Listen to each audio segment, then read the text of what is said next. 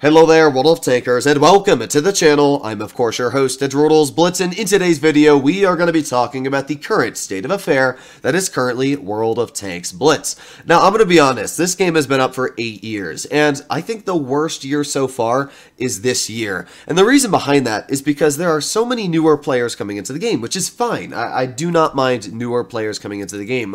What I mind is when Wargaming is able to let these new players not only reach tier 10 in a month, but then when they've reached tier 10, not explain to them how to play the game. There are so many players I find with less than 5,000 battles, sitting at 40% win rate, that do not understand how to play the game. And 90% of the time, it's not the player's fault. I can't blame somebody for wanting to get to tier 10. When I first started playing this game, I wanted to get the 183 and grind it all the way to tier 10. So I don't blame people for being like me when I first started playing the game, but I do blame Wargaming for not giving players the proper resources and tools for understanding how to get better at the game. I was going to make a video on the K91 today, talk about its really cool burn camo, and the second game I played, the first game was fine, did like 3,000 damage, you can see I start it. The second game, I played basically to the best of my ability I could have in this game. I, I maybe missed like one shell. I did like 5,000 damage. And just watch what my team does. And this is the perfect representation of why I don't enjoy playing Blitz nearly as much as I used to. I just feel like the competitive aspect of this game has seriously fallen off in pubs. The only chance you would really have of winning pub battles now is if you try hard in platoons. And that way is fine. I mean, I like platooning, especially with like Flossy because it's fun, and I, I just platoon because it, it's fun to play with friends in this game. But playing solo in this game, I, it just I don't do it anymore because it's not fun to do. So here we go. We got an enemy 57 heavy pushing forwards. We get two shells in him that's already 700 hit points, and we're going to aim in on the K or Kampfpanzer 70 and get another shell. So that's 1,060 hit points I've been able to dump off in a matter of, what, like five seconds there? Unfortunately, my T-57 Heavy off to my side has also managed to bleed 2,000 hit points in the same amount of time. So basically, the damage I dealt was then doubled from the enemy team. But it's fine, we'll get some more shells out. We got an FV-4005, here we go, there's one, there's two shells, and let's get that third shell in. Nice! Oh wait, my Kampfpanzer's dead. Like it's just it's just sad. This game was just sad. It didn't make me mad the fact that I lost this game. It just made me sad that every time I dumped a clip out, every time I did something good, somebody on my team made sure that whatever good deed I did was negated because they would die. It, it was that was basically my game. The enemy team has all three base caps. They have base C, they have base B and A because my medium tank is sitting there. I don't know why. Um, my 183 is not actually AFK. He's just been sitting there for some reason. Uh, yeah. Uh, I just don't know what to say. We're about to break 3,000 damage. I mean, we're not doing bad at all this game. There you go. There's our 3,100 damage mark. And I'm going to try and get some shells maybe into the motion or something. I'm just looking at what I want to do right now. There's the enemy Kampfpanzer, and they got an STB-1 and Sheridan flanking our booty. Now, the enemy team played right. Their Sheridan and STB-1 pushed towards the medium side. They were able to come up behind our team, and that's the end of our team. I mean, I'm already down an E50M. I'm down a T57 Heavy. My 183 is about to be flanked by a bunch of mobile mediums and lights, so obviously that's going to be absolutely useless for him. The only player on my team that actually did pretty decent was the 4005, a tank that is probably the least situationally uh, performing in the game, and that was the best player on our team. So, uh, yeah. Oh well. This game, as I said, it wasn't a, a, frustrating game. It was just sad to watch my entire team fall apart while I'm dealing 4,600 damage in this battle in only 2 minutes and 30 seconds. I mean, we didn't even lose on tanks being killed. We lost on base cap. That that was just such a sad battle. 4,600 damage. The next highest was the 4,005. And the Yo wasn't bad either, to be honest. I mean, his win rate is terrible. But because he pushed to the right spot, he was able to do his job.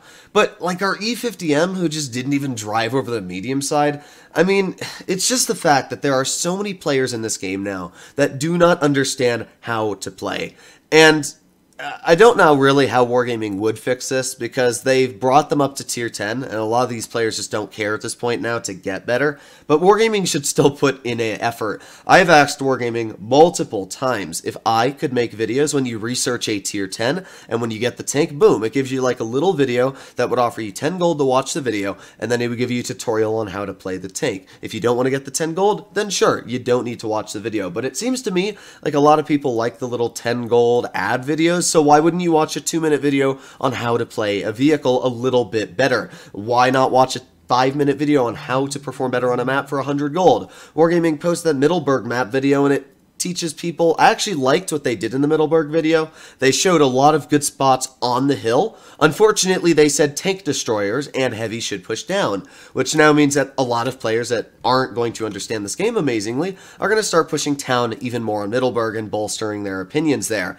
Uh, really, the only solution I've come up to how to fix the game is make it 10 versus 10 format. The reason I think that this would actually work is down to the fact that medium side is usually the side that takes L's and then causes your team to lose. Heavy side is pretty self-explanatory, and I find that most heavy players understand how to perform on heavy side. But medium players, they just don't get it. They just drive out in the open on heavy side. They'll push their tank in positions that really don't work. But if it was 10 versus 10 format, and let's say you had four heavies, four mediums, and two tank destroyers on each team, then you would have four mediums, which is normally double your normal medium count. And then you wouldn't have games where you have two mediums versus one, or two mediums versus none. I definitely think that would be a much better way to format this game because that way less mistakes would be made from overall teams. I think that would be better. Obviously, it would change how average damage works a bit. You'd be able to get more average damage and it would change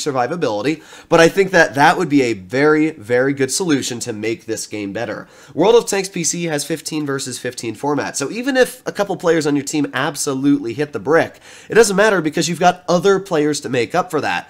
Unfortunately, in Blitz, that's not the case. That game there, me and that 4005 were the only good players, so everybody else that died don't make up for that, and that's the biggest issue. You need to have superiority on medium side and heavy side to win the game.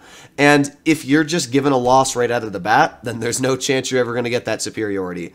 This game has just been frustrating for me because I am a competitive player, and that's why I like playing Blitz, because I'm competitive at the game. For the people that say, oh, I just don't take the game casually, well, that's just not how I am. There are people out there that will take games serious, and they'll play it competitive and that's how I am on this game. So I get quite frustrated when there's no real reason to play competitive because all of your your battles are down to a dice roll on who's going to throw.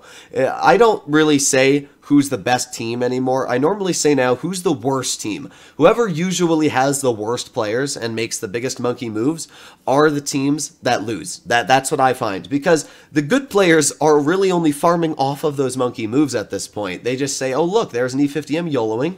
Might as well farm him."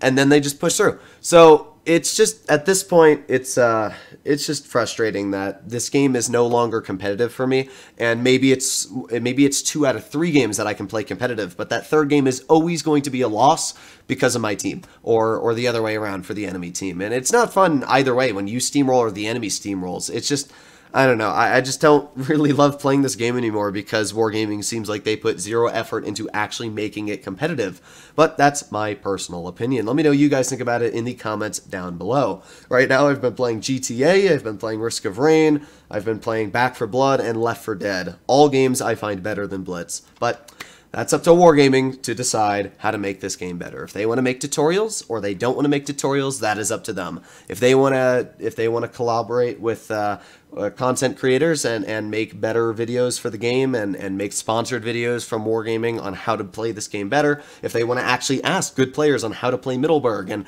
and Rockfield and every other map in this game, then that's up to them. But if they want to destroy this game, they're definitely in the path to doing that because all of their competitive players are going to leave the game. I already know a lot of competitive players that don't touch pubs whatsoever uh, and just play... Uh, just play comp because there's no reason to touch pubs. But hopefully you enjoyed today's video, and I'll be seeing you in the next one. Bye-bye!